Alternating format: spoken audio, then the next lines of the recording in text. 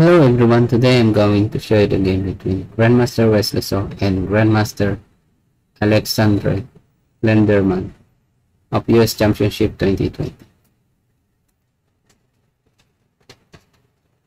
Alright, let's start. e4, d6, knight c3, knight f6, d4, e5. Tawag po sa opening ay Philidor defense. Knight f3, knight bd7, bishop c4, bishop e7, castling. Castling a4,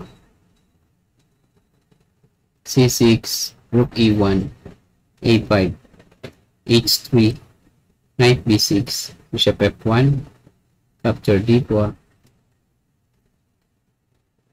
queen takes d4, d5, bishop g5, h6, bishop h4, capture e4, knight takes e4, e4, knight, uh, queen takes d4, knight takes d4, knight d5, knight takes f6, bishop f6, knight f6 um, bishop takes f6 knight f6 bishop c4 rook d8 attacking knight c3 protecting king f8 preventing rook e7 rook e5 attacking a5 and intending to play battery bishop d7 rook AE1 Rook E8 challenge F4 protecting B6 King F2 Rook A D8 at dito ang evaluation. Evaluation the position is equal.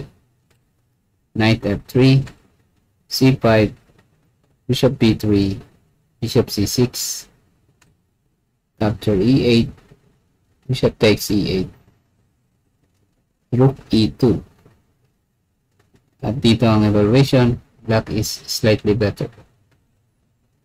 Uh, B5, capture B5, bishop takes B5, rook E5, threatening C5, bishop C6, bishop C4, A, A4. Ang evaluation, black is better. Rook E2, knight e4 check, king e3, knight b6, bishop d3, rook e8 check, king f2, capture e2, king takes e2, f6. At ang evaluation, the position is equal. g3, king e7, knight h4, g5, uh, knight f5, challenge knight takes f5 bishop takes f5 ayan po chances are equal at dito ipapass forward ko. Medyo mahaba po ang kanilang maneuvering. Capture f4 ito po ang nangyayari pinarget po ni Grandmaster Wesseso ang a pawn so pumunta po siya sa uh, inside later on. Ayan po ang kanilang tirahan. White gradually uh, move the king toward the a pawn.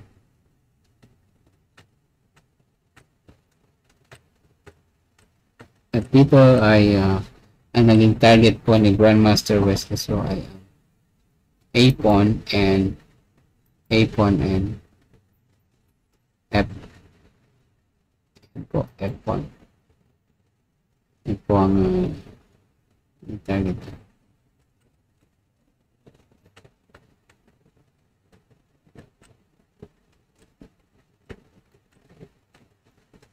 nagkaroon po siya ng timing pagkatira niya ng A4 ibibigay niya po yung A4 kapalit ng ng uh, F5.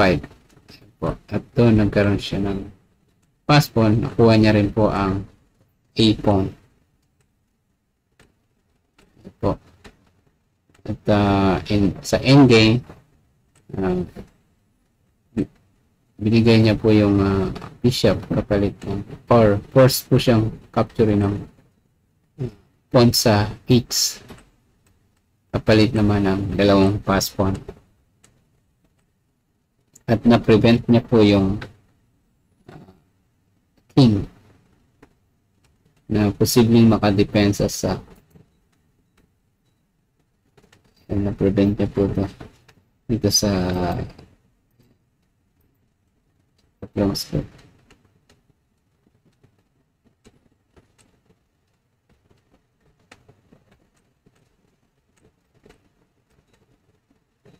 po at nakapila din siya dito. Kataon na nandepensa niya agad yung kanyang pawn at yan nag-resign na rin po si Grandmaster Alexander Lenderman. Alexander Le- Lenderman ayan po ang kanilang nanging laban. Hanggang dito na lang po. Maraming salamat. See you next time. Bye